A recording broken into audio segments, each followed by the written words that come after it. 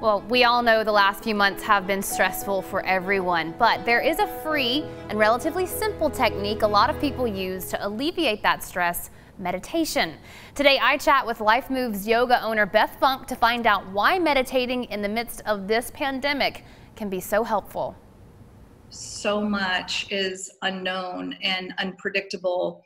Um, we can create that calm or sort of that balance or equilibrium just through this practice. Beth Funk, owner of Life Moves Yoga, says meditation is a free way to calm your mind. And while there are many misconceptions about it, it simply starts with breathing. It's such a great tool because we always have access to the breath. So even when things are going on crazy around us, it's one thing that it's our superpower. You know, it's that thing that we always have access to. Funk says meditation is a perfect practice to combat worry over the coronavirus pandemic because it forces you to be present in the now practicing mindfulness or practicing drawing your attention back to the present moment um, can really be powerful in alleviating stress and anxiety because it keeps your attention on what is true right now in this moment as opposed to going to those places that we, we all do you know the, the past and the future.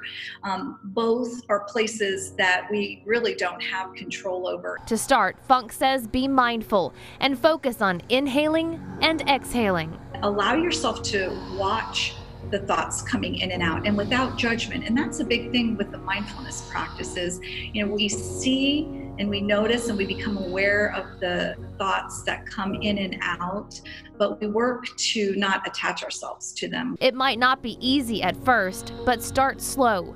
And Funk says, remember, there's no wrong way to meditate. It's not about being good at it, but it's about having it feel more natural to us and for it to come a little bit easier. So when you're first starting, it may be really difficult at first. And if we if we focus on that, if we're like, this is hard, I'm not good at it, then it just keeps us from wanting to stick with it.